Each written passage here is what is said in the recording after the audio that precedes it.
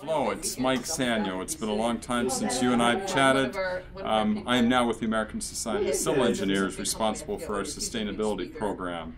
But I just wanted to say how uh, impressive uh, the Environmental Film Festival was and is in terms of telling stories about environmental concerns that affect people from everywhere, the Arctic, right through to big cities like Washington and New York and otherwise.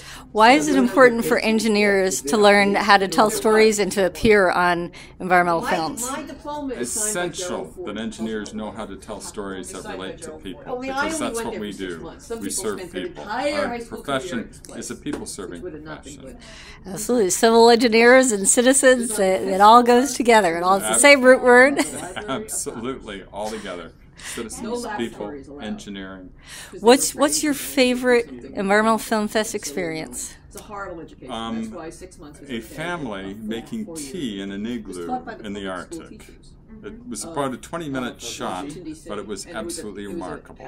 And it started with a So family who were- just had friends who approaching an igloo or approaching a site for an igloo, building job. the igloo, Class and cooking a at pot six of o'clock, tea. and it was over by Wow. 6:30. Do you remember when that was? So that was It your was job. probably as a, as a teacher. in you were uh, in and 1999. And you still remember that I story? remember. I believe it was at the Canadian Embassy.